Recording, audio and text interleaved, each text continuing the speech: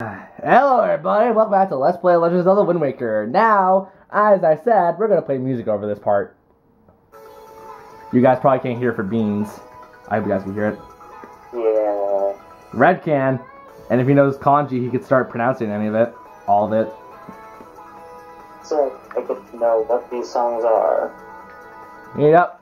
It's because I listen to anime stuff, animated music that you've never heard of in your entire life, and it's sad.